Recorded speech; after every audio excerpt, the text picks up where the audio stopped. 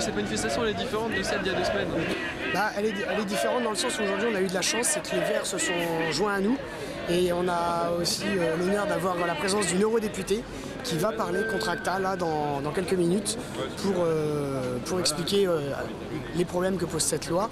Donc d'avoir la présence quand même d'un officiel dans une manif, ça apporte quand même vachement plus de poids à ce genre d'événement. Euh, Raconte-moi l'histoire avec le préfet, vous avez déposé une manif au nom d'Anonymous Alors, on a tout simplement euh, déposé, euh, on a une déclaration de manifestation en préfecture qui est ici. Ce qui est amusant, c'est que donc cette déclaration, elle, fait- elle dit comme ça texto, vu la déclaration écrite reçue le 21 février 2012 du mouvement des Anonymous. C'est assez drôle quand on sait que l'anglais est considéré comme une langue internationale même titre que le français, parce que ça veut dire que c'est une manifestation au nom de personne, mais qu'elle est autorisée.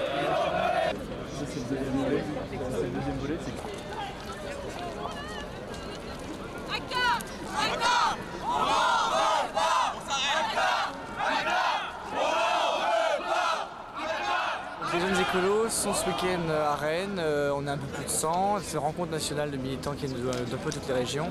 Et l'idée c'est de réfléchir ensemble aux politiques, à des questions de, questions de politique de jeunesse en vue de 2012, la campagne d'Eva Joly, on a rencontré Cécile Duflo ce matin.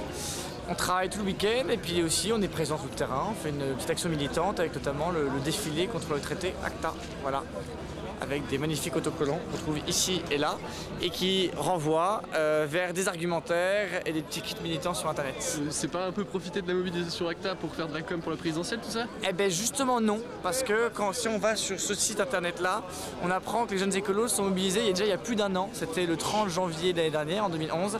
On a déjà fait une action dans les rues de Paris euh, contre ce traité là, et c'est quelque chose sur lequel on était alerté, notamment à travers une eurodéputée Europe Écologie Les Verts, euh, Sandrine Bellier, qui, qui est mobilisée là-dessus depuis plus d'un an.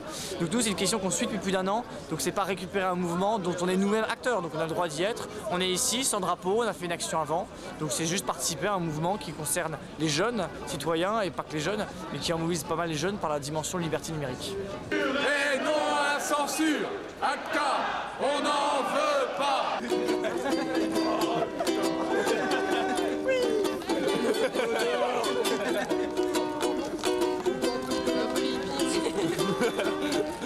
Quelqu'un a une idée de slogan, on fait tourner les micros Il fait froid, il fait froid, mais ACTA ne passera pas Il fait froid, il fait froid, mais ACTA ne passera pas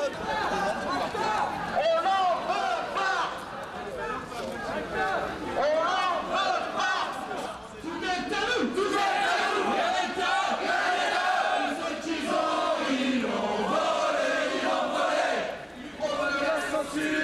Et supprimer la culture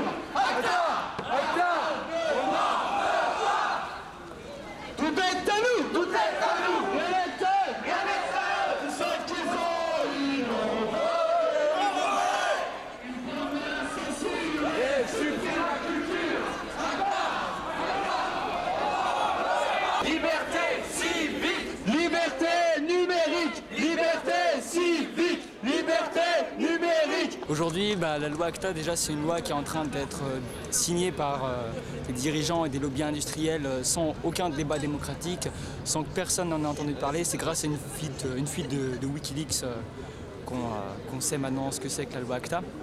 Donc la loi ACTA, c'est une loi qui va euh, viser à surveiller tout ce que les utilisateurs d'Internet, tout ce que les internautes font, donc euh, ce que tu fais sur Internet, euh, ton hébergeur, il, saura ce que c'est il pourra envoyer euh, ces données à, à des gens en particulier.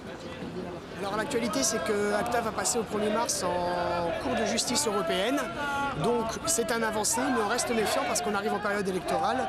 Faut savoir que cette année dans le monde, il y a 22 élections différentes entre les présidentielles, les parlementaires et les législatives. Le, visage politique du monde ne sera pas le même à la fin de l'année. Ce qui, c'est pour ça qu'on reste quand même sur nos arrières, on reste méfiant avec, ce, avec cette saisie de la Cour de justice. Mais c'est déjà un plus. C'est une avancée. Maintenant, il faut rester méfiant. On est en période électorale. On sait comment ça fonctionne. Euh, le 10 mars prochain, il y a une manifestation nationale à Paris. On connaîtra le lieu et l'heure exactement d'ici 7 jours. Je vous invite à vous renseigner sur anonymact.fr afin d'en savoir plus et puis de nous rejoindre si vous en avez les moyens. Voilà.